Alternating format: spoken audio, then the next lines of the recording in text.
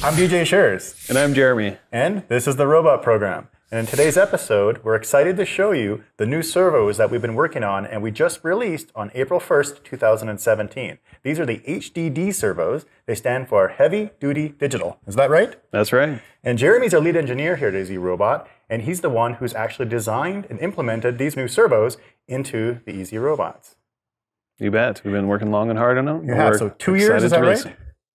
It is. That's right. Okay, so in this JD here, we have the new servos. All right, so let's give a quick demo of that. We have the mobile app connected. We'll just make them walk forward a little bit here. We can hear those servos, they sound fantastic. We'll walk backwards, very quiet. Mm-hmm. And of course, we'll get him to do his famous headstand.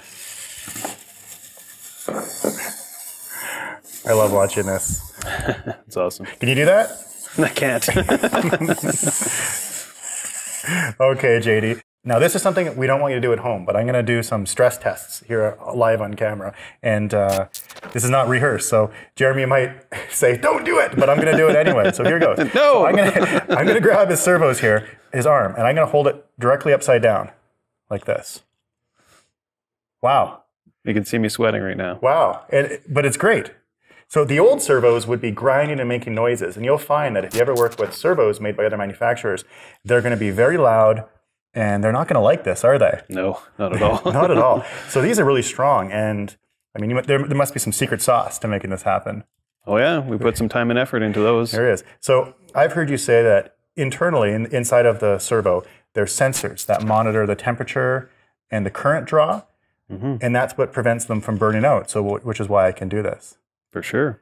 Okay, now I'm going to go into uh, into RoboScratch here. You can see this on the on this camera, and I'm going to load up the servos, and I'm going to move his shoulder joint. Which one am I doing? This one here.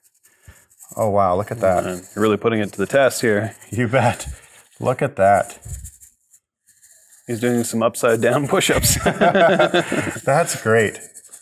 Just and there's no heat being generated here. I don't feel any heat at all on these servos. Let me feel. Okay. Yep, nothing. That's fantastic. All right, so that's the new servos. Now we should do a quick comparison, I guess, on the old servos. Sure. We'll turn Okay. on JD here. All right, move him over here. We've got the new, or the old JD. This is the old previous servos. We'll connect to his Wi-Fi network.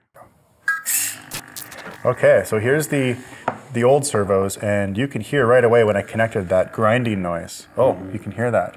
Yep.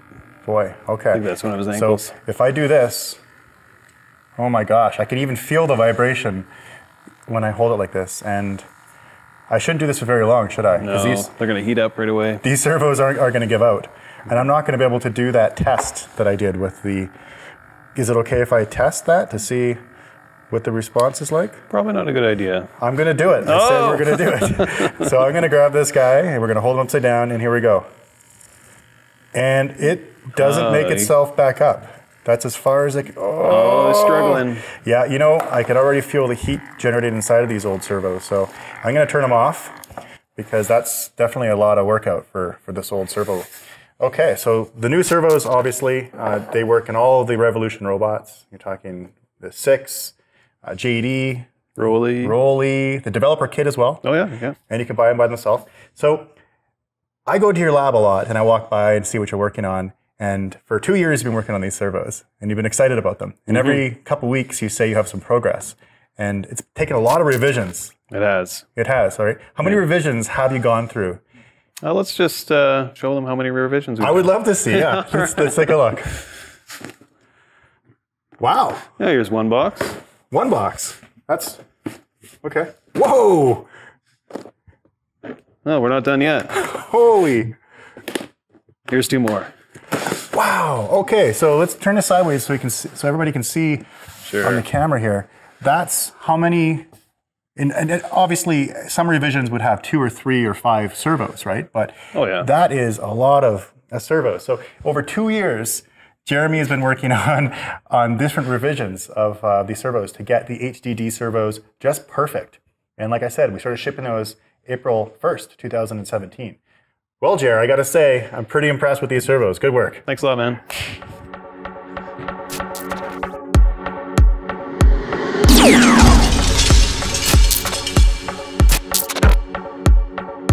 In this episode, we introduce the new HDD servos that EZ-Robot has developed. HDD stands for Heavy Duty Digital, and you can find these servos in any of the Revolution robots and even in the developer's kit.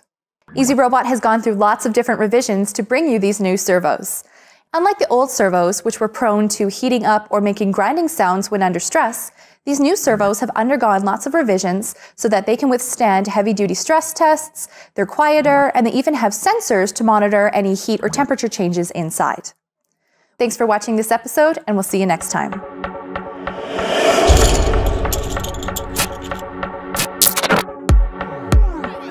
What does HDD stand for? What are the advantages of the HDD servos? Where can the HDD servos be used?